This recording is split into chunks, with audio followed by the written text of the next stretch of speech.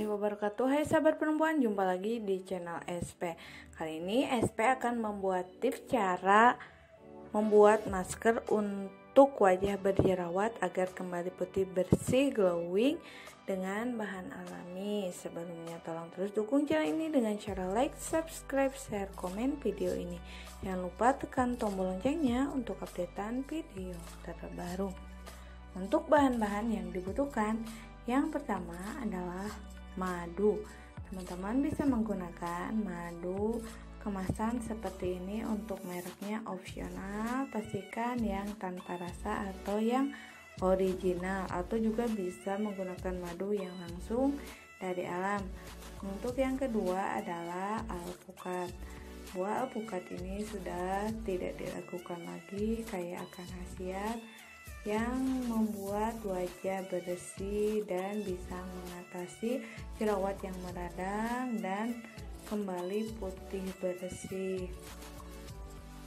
Nah, karena di dalam alpukat ini mengandung vitamin vitamin khususnya vitamin E, vitamin C yang sangat baik untuk kulit.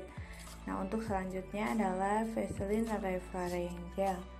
Nah ini mesin ini sangat multifungsi sekali dan sangat bermanfaat untuk kulit wajahmu. Pastikan teman-teman menggunakan Vaseline yang original ya.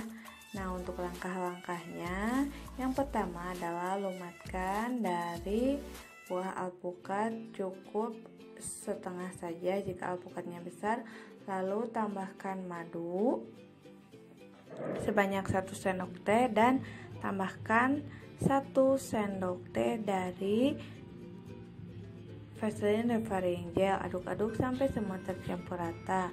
Nah pastikan semua bahan tercampur rata.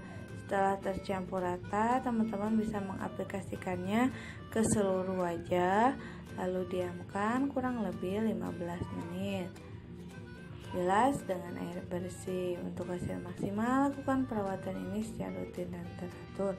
Namun ingat teman-teman, jika teman-teman mengalami kulit, iritasi kulit, jerawat berlebih, kemerahan, segera hentikan pemakaian karena mungkin ada salah satu bahan yang tidak cocok di kulit teman-teman. Untuk lebih jelasnya bisa konsultasikan ke dokter ahlinya ataupun dokter terkait di bidangnya karena ini hanya sebatas pengetahuan saja.